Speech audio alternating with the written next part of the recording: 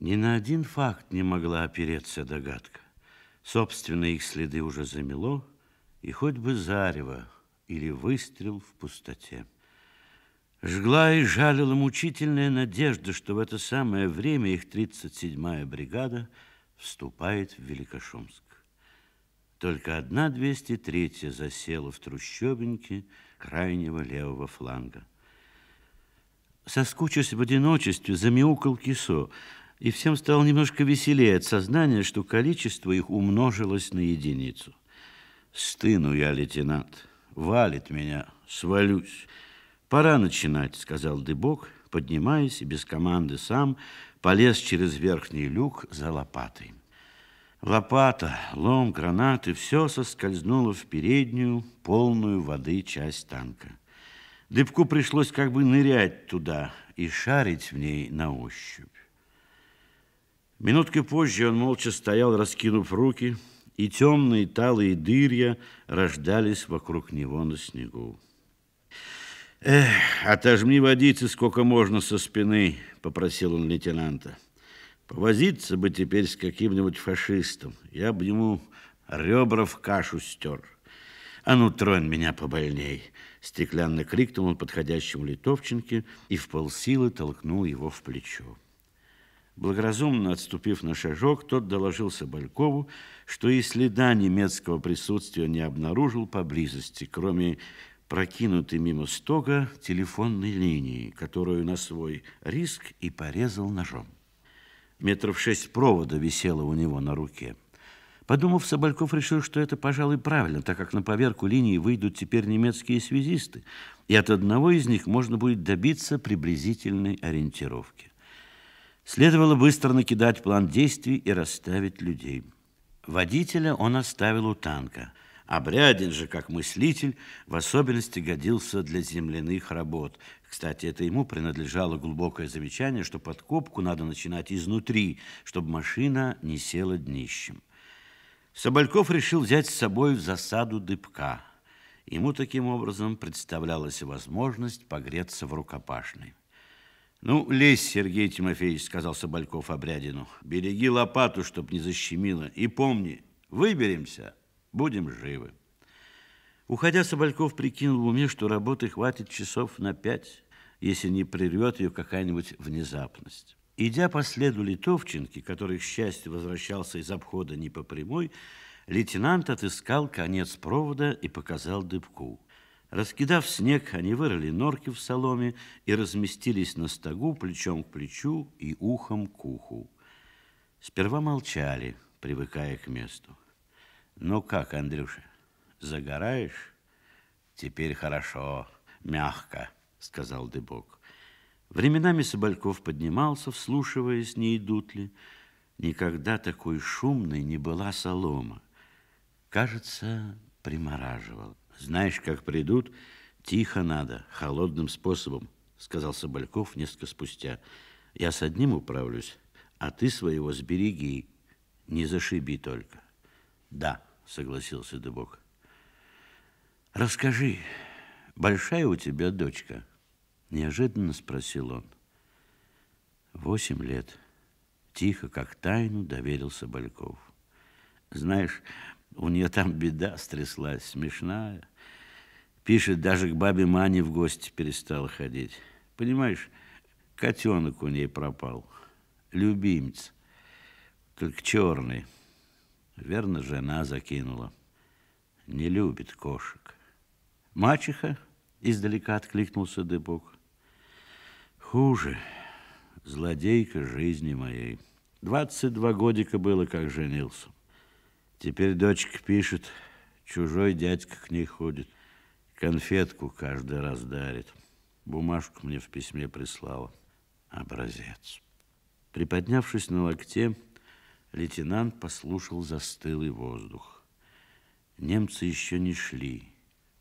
Точно пронюхали о засаде. А баба Маня – это не женщина, не думай, это гора, понимаешь? Это мы с дочкой так ее прозвали. Ягод много. Вроде старушки, вся в зеленых бородавочках. У нас там секретный каменный столик есть. На нем бархатная маховая скатерка. Дочка сведет тебя туда. Если что случится со мной, отвези дочке кису. Понимаешь? И писем никаких не надо. А ты ее в раз узнаешь, едва увидишь.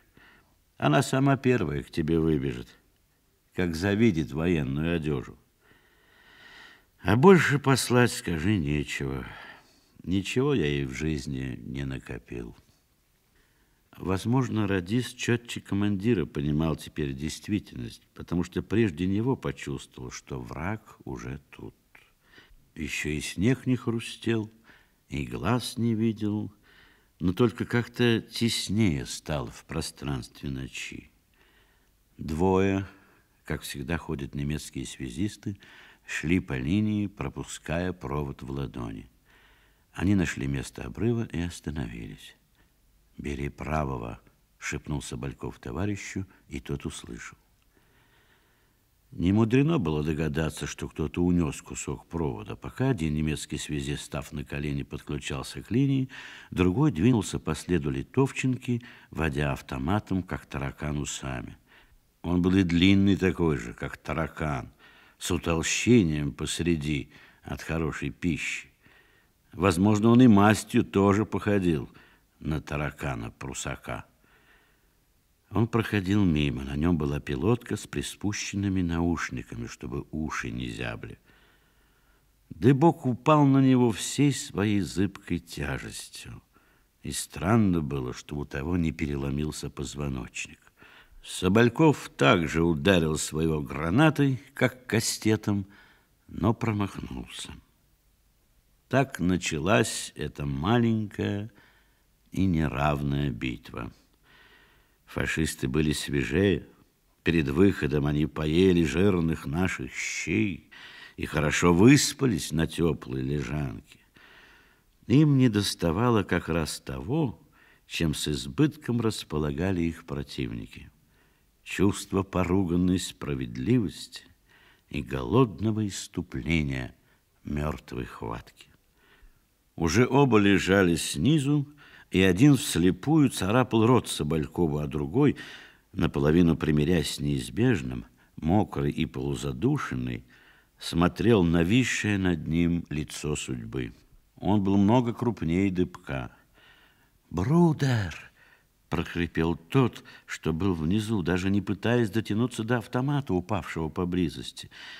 Он упоминал, кажется, также слово «муттер» и, кажется, испробовал силу слова «швестер», перечисляя все степени родства, какими можно было проникнуть в славянскую жалостливость. «Не брудер, а бутерброд», — неистово сказал Дыбок, еще не родилось могущество на свете разжать его пальцы. Дыбок не заметил, как подошел вполне спокойный Собольков с автоматом и документами своего партнера.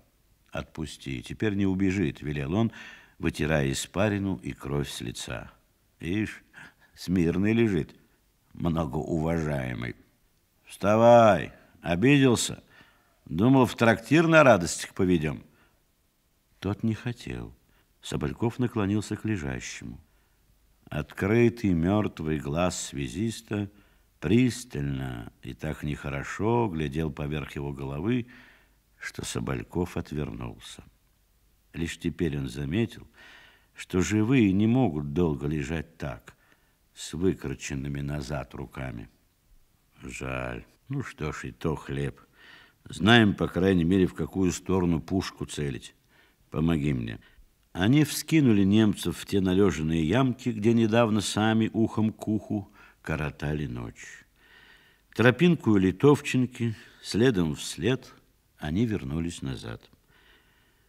Еще три больших часа длился нечеловеческий труд, из которого в равных долях с опасностью и скукой состоит война.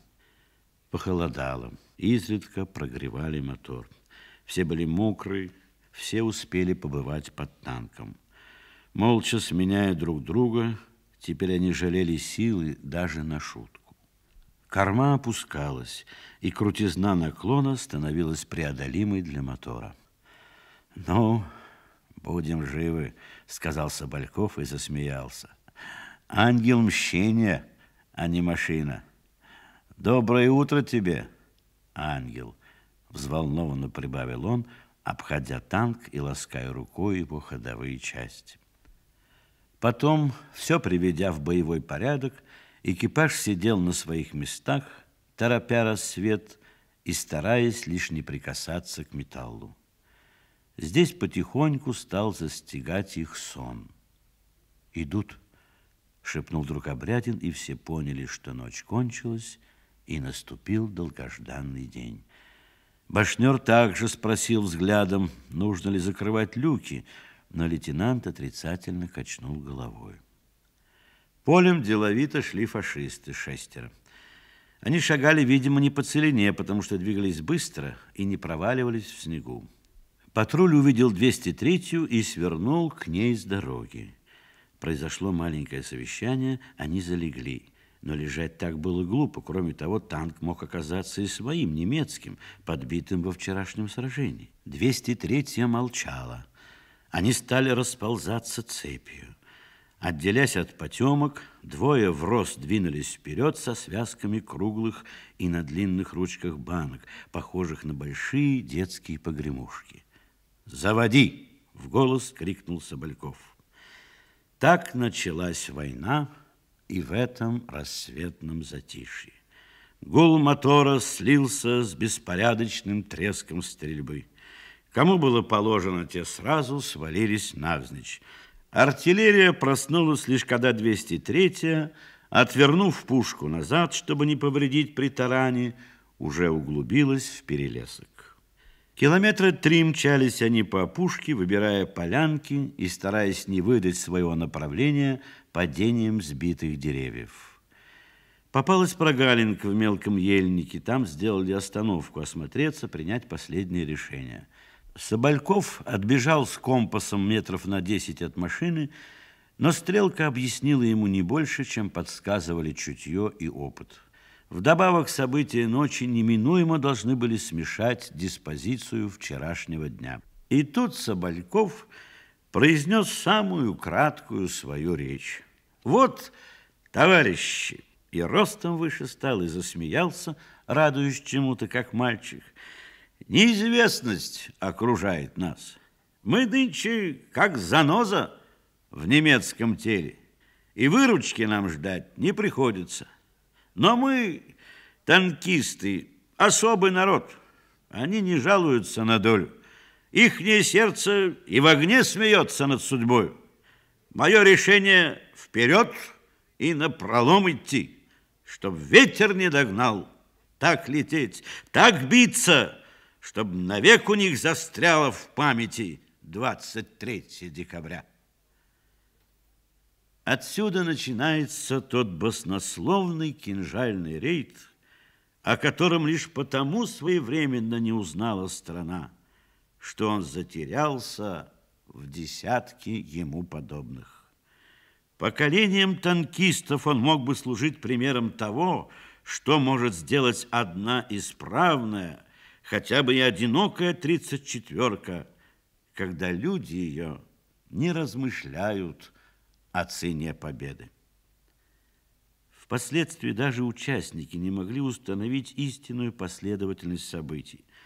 Действительно ли автомобильный парк немецкого мотополка стал первой жертвой Соболькова, или тот эшелон с боеприпасами, что рвался вплоть до прихода нашей основной бронетанковой лавы? Все спуталось в их памяти. Зарывшись в тело германской дивизии, 203-я низала его во всех направлениях. Так движется во внутренности танка ворвавшийся снаряд, пока не погасится его живая сила. И как снаряд не жалеет себя, вламываясь во вражескую броню, так и люди забыли об опасностях своего стремительного бега. Здесь следует искать причину, почему до самого конца ни одно попадание из всех, какие 203 во множестве приняла на себя, не оказалось для нее смертельным. Но уже не удивляла и не пугала командира чудесная неуязвимость его машины. Одна могучая бронированная тварь с белым фашистским крестом вырвалась на перерез 203. Стальной тоннель пушки уперся круглым мраком в ее сердце.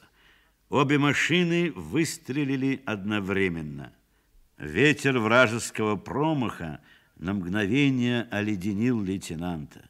Все болты и клетки напряглись в своем технологическом пределе.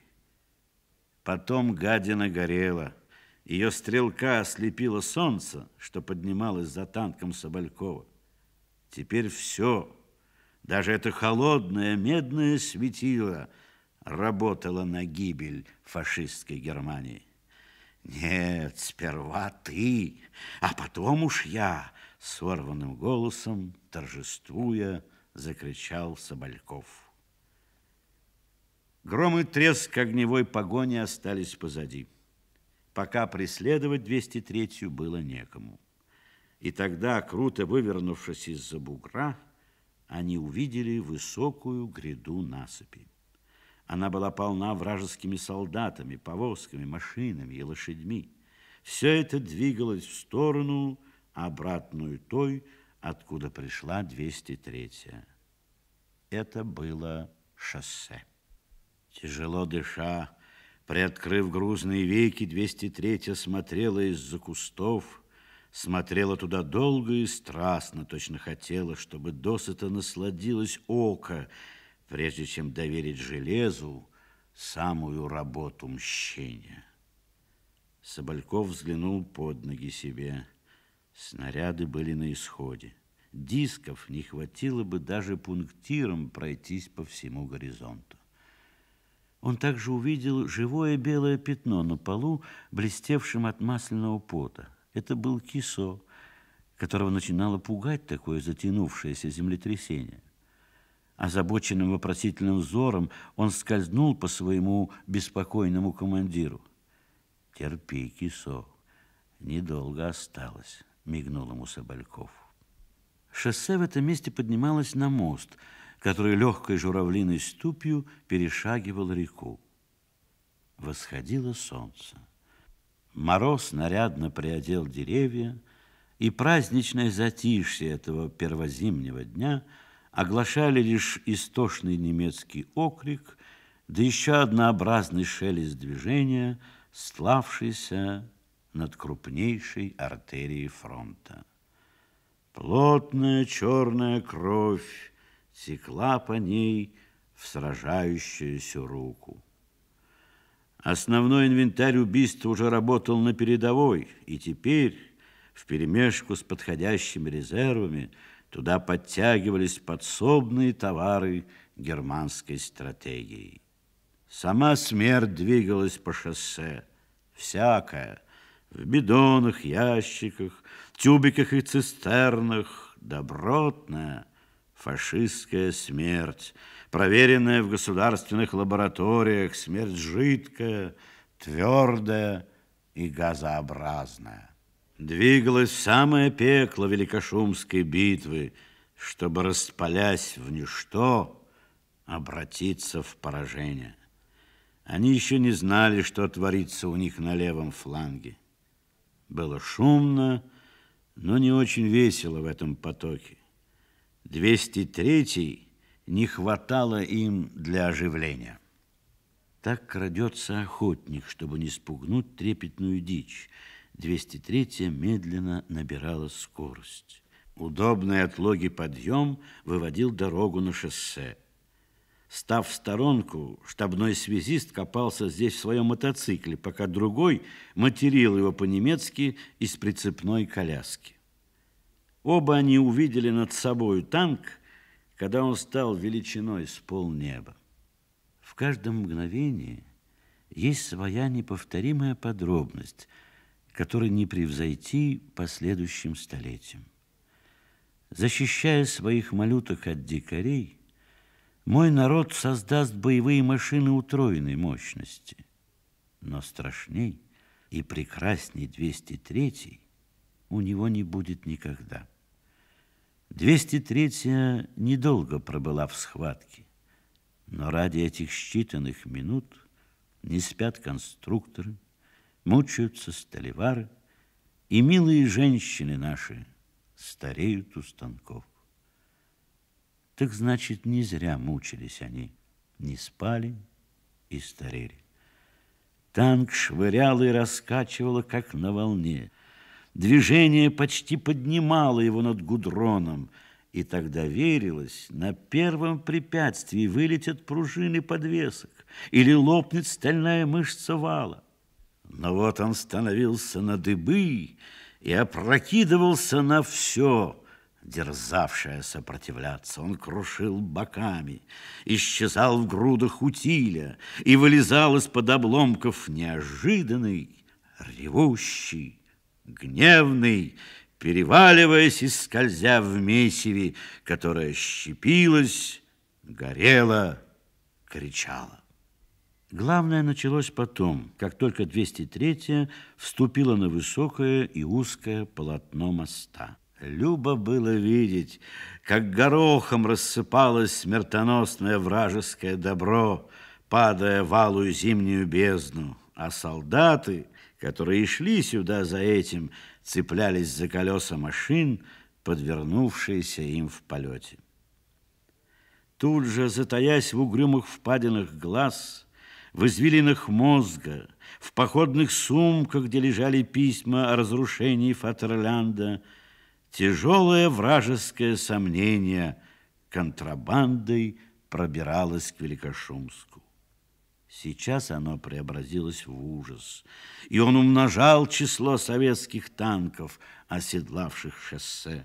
Его взрывная волна давно опередила 203-ю, почти расчистив ей дорогу все валилось само, чтобы не быть поваленным. Мост, пламя, хруст, трескотня бесполезной стрельбы — все осталось позади. Впереди становилось пусто, и Литовченко перешел на третью скорость, разгоняя танк, как торпеду, единственное назначение которой — взорваться в гуще врага. Лишь одна открытая штабная машина суматошливо виляла на шоссе, выбирая место для безопасного спуска с крутизны. За рулем сидел майор. Видимо, то были важные армейские инспектора или знаменитые хирурги из тех, что крали кровь наших детей для иссякших воровских артерий. Им повезло, машина сошла без повреждений. Патронов больше не было на 203 Вес и скорость стали ее оружием. Впоследствии улыбались на рассказ Литовченки, будто машина с разгону прыгнула сама, а снежный сугроб и вражеское мясо спружинили ее падение. Но таково же было впечатление всех, еще имевших признак жизни очевидцев. На пути 203 срезала телеграфный столб, дополнительно ожесточая ужас удара и только один успел выпрыгнуть, пока 203-я висела в полете. Майор.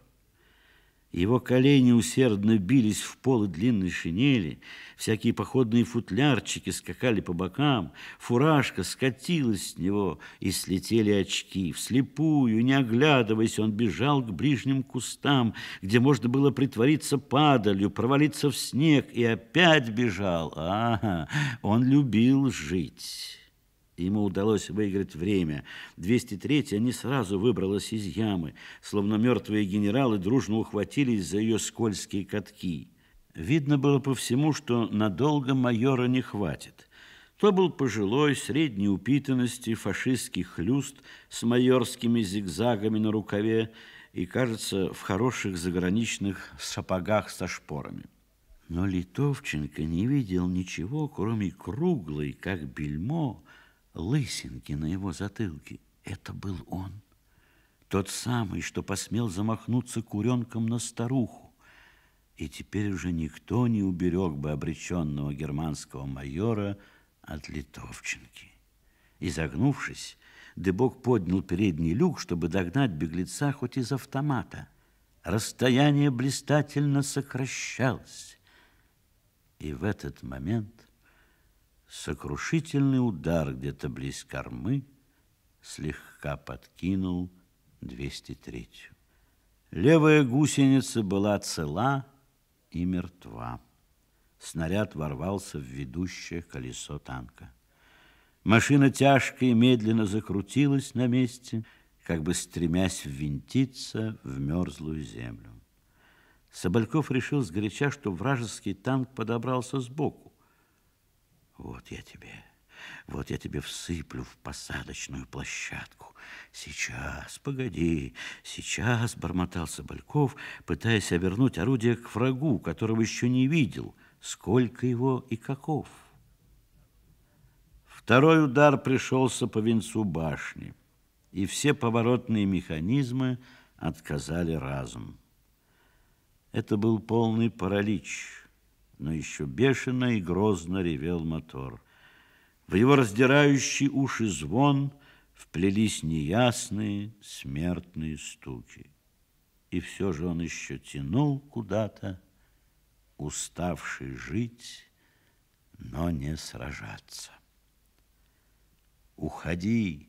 Все!» — успел крикнуть лейтенант, тяжестью тела налегая на штурвал пушки. «Лес! Бежать! Всем!» — повторил он криком, которому нельзя было не повиноваться. Короткий белый полдень вспыхнул в башне. На этот раз попадание было точнее. Обрядина предохранили казенник и балансиры орудия оглохший, полуслепой, точно взглянул на солнце, слизывая соленую горячую росу с обожженных губ, он обернулся к командиру. Тот еще сидел, привалясь к задней стенке, прямой, очень строгий, только непонятная темная дыра, которой не было раньше, образовалась в нижней половине его лица. Его ударило осколком в рот. Убитый командир еще глядел и, кажется, приказывал Обрядину покинуть танк. И опять, уже в последний раз, ослушался его башнер, как изредка по мелочам делал это и при жизни. Он привстал, упираясь головой в круглое стальное небо. Ему удалось поднять крышку люка и поставить на стопор. Он не заметил, как внизу, сквозь каток, в одну и ту же дыру, туда, где тревожно мяукал кисо, вошел четвертый и пятый. И дрогнули по-братски все семьдесят два трака, и почему-то смертно заломило ноги у обрядина.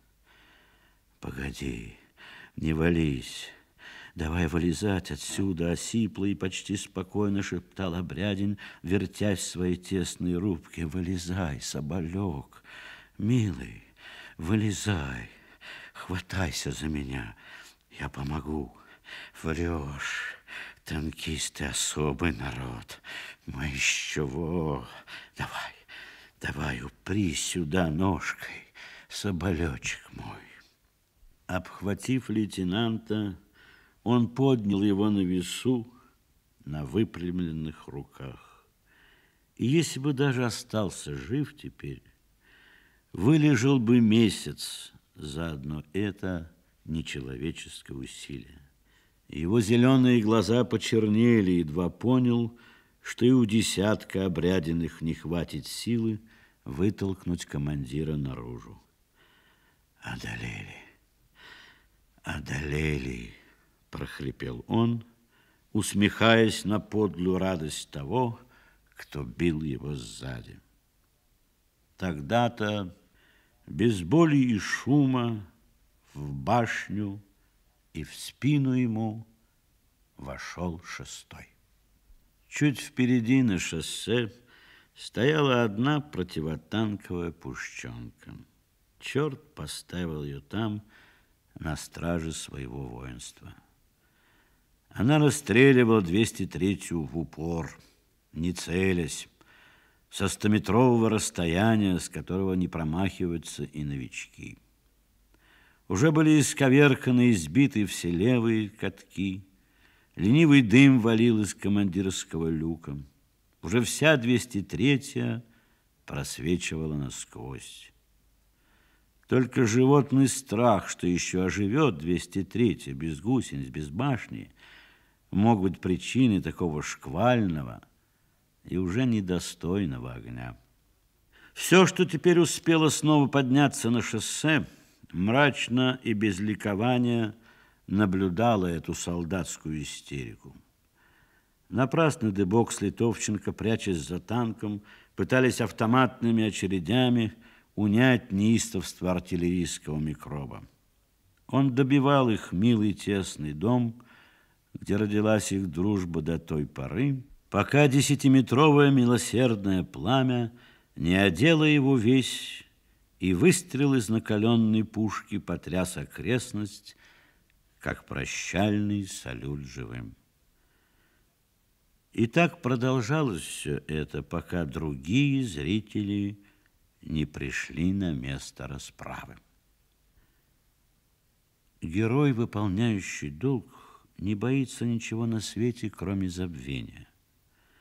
Но ему не страшно и оно, когда подвиг его перерастает размеры долга. Тогда он сам вступает в сердце и разум народа, родит подражание тысяч, и вместе с ними, как скала, меняет русло исторической реки, становится частицей национального характера. Таков был подвиг 203. По живому проводу шоссе волна смятения покатилась на передовую, и тот момент, когда в армейском вражеском штабе была произнесена фраза «На коммуникациях русские танки» надо считать решающим в исходе Великошумской операции. Одновременно с этим корпус генерала Литовченки с трех направлений охлестнул поле сражения – и третья танковая группа двигалась как раз той трассой, какую за сутки перед тем проложил Собольков. Одинокая размашистая колея 203 изредка прерываемая очагами разгрома и опустошения, вела их теперь к победе. Похоже, было не один, а целая ватага сказочных великанов крушила германские тыловые становища и шла дальше, волоча по земле свои беспощадные пальцы. Штурмовая лава литовченки размела и сварила под откос остатки вражеской колонны, пропуская в прорыв конницу и мотопехоту. На больших скоростях как бы церемониальным маршем военного времени они проходили мимо догорающего товарища. И каждый, кто глядел из люка или с седла, или с сиденья транспортера, поворачивал голову по мере бега, не в силах оторваться от печального и благородного зрелища. Большое солнце опускалось за низкие облачные горы. Глаз легко различал покатые хребты и малиновые склоны, пересеченные глубокими лиловыми распадами. Город горел. Догорала неиспепеленная накануне. Ясно различимы были изгрызенные взрывом стены собора, тесные вишневые садики – разгороженные плетнями, спускавшиеся к реке, безлюдные улички, где неторопливо проходила дымная мгла. Все, кроме пламени. Оно никогда не бывает видно в закате. Двое сидели на поваленном телеграфном столбе, лицом к солнцу и танку. Как у всех перешагнувших пропасть, не было у них пока ни раздумья, ни ощущения времени или голода, ни понимания всей новизны обстановки, ничего, кроме чувства безвозвратной потери. Душою они находились еще там, внутри. Еще крошилась броня над ними, и звучал голос Соболькова. Снежинка, спорхнув с порванного провода, опустилась на руку дыбку, на запястье. Она была маленькая и нежная. Даже удивляла, что целую ночь, пока дрались и падали люди, трудился над нею мороз, чтобы выковать такую пустяшную, и хрупкую бесценность. И сам собой возникал вопрос, повторится ли она когда-нибудь за миллионолетия в точном ее весе, рисунке, в ее живой и недолговечной прелести. Она растаяла, прежде чем родился ответ. Вдруг Дебок вспомнил про кисо. Его лицо исказилось, виноватая тоска сжала душу. Он побежал к танку и заглянул через передний люк, как будто еще не поздно было исполнить ночную просьбу Соболькова.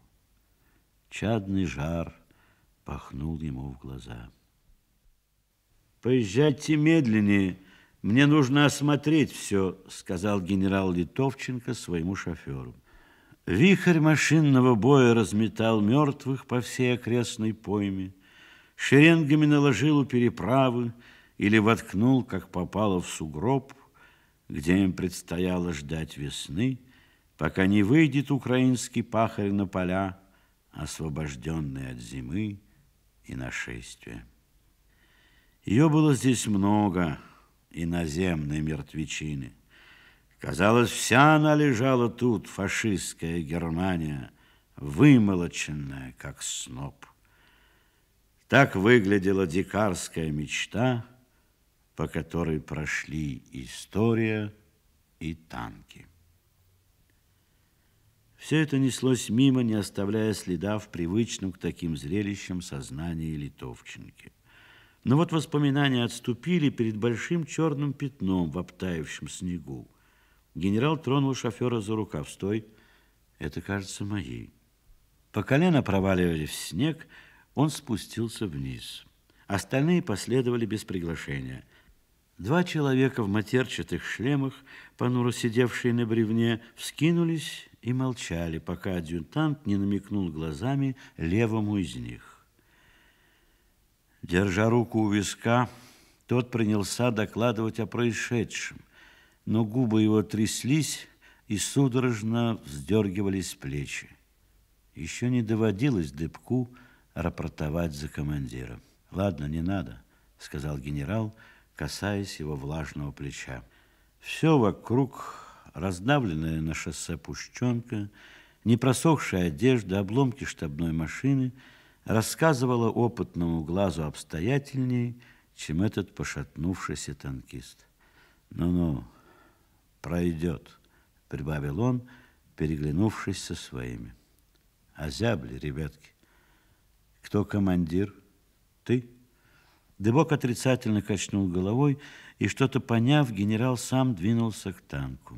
Длинная лиловая тень от 203 была дорожкой, по которой он шел. Она растаяла, когда он добрался до цели. Солнце зашло, сказка кончилась, вступали в свои права ночь и военная действительность.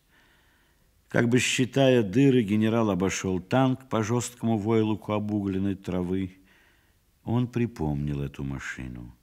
Сквозь копоть был достаточно различим ее номер, только теперь рваное отверстие зияло вместо нуля. Привстав на отогнутый клок брони, генерал заглянул в башню и снял папаху. «Дайте-ка мне сюда фонарь», — приказал он адъютанту, — потому что в однообразной черноте танка сумерки настали скорее, чем в остальном мире. «Ишь, как они обнялись!» — заметил он дрогнувшим голосом, как-то слишком спокойным для того, что он увидел. Вот они, советские танкисты. Вот они, мы. Пока остальные в очереди подолгу глядели внутрь этого потухшего вулкана, генерал вернулся к экипажу. Теперь он признал и тезку, только этот был много старше того мальчика на железнодорожной станции. Узнаю. Значит, отца все-таки Якимом звали? Так. Кажется, брат у тебя в Немеччине имеется. Точно, товарищ гвардии генерал-лейтенант, ответил Литовченко с суровостью, какой не было раньше. Трое нас было. Тот младшенькой, Остапом по деду звать. Генерал вопросительно взглянул на адъютанта, но капитан уже не помнил, как ему называли угнанного паренька из Белых Коровичей. Помню командира вашего. Кажется, Собольков такой с седым вихарком был. Как же, помню Соболькова. Что ж, сгорела знаменитая ваша хата. Ничего, новую дам. Сам не ранен? Организм у меня целый, товарищ гвардии генерал-лейтенант. Это главное. Так вот, там метров триста отсюда танк без водителя стоит. Он кивнул в мокнущую глубину шоссе. Новичок с открытым люком воевать хотел. Скажешь, я послал. Хозяин там тоже хороший, я его знаю. Он тебя посушит, покормит и воюй. Будет что рассказать внучатам. Затем он обернулся и к дыбку, потому что обоих нужно было поддержать словом товарищеского участия. Дети есть? Дочка. Неожиданно для себя сказал Дыбук, и желанная легкость вошла ему в сердце.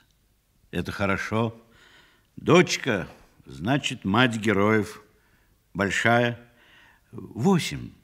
Товарищ гвардии генерал-лейтенант ответил Дыбок, покосившись на танк, таявший в сумерках. Большущая. Верно, и читать умеет. Станешь писать, кланяйся от меня. Все, записать фамилии. Молча подошли офицеры. Да, могила неизвестного танкиста, сказал один из них раздумчиво для самого себя. Неверно, немедля возразил Литовченко. Это у них солдат одевают форму, чтобы были одинакие, чтобы их не жалко было. А мы... Нет, мы не забывчивы. Мы все помним.